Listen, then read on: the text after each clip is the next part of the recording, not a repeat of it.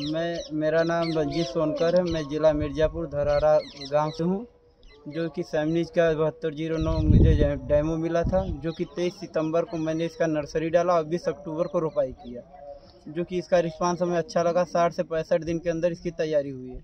इसके बगल में हम नामधारी लगाए हैं, उससे अच्छा इसका रिस्पांस है।